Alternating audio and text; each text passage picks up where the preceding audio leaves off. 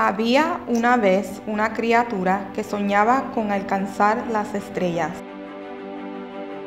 Algún día seré astronauta. Puedo enseñarte las galaxias, dijo Pegasus, el caballo con alas del cielo.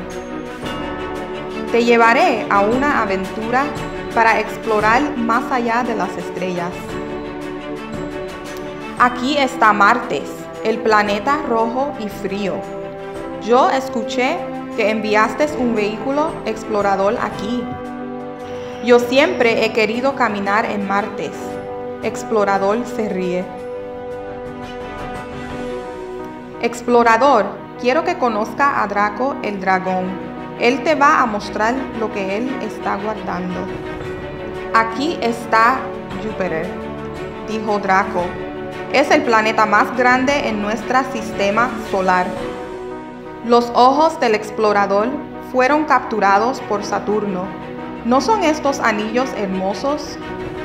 Draco bajó muy rápido y aterrizó en los anillos.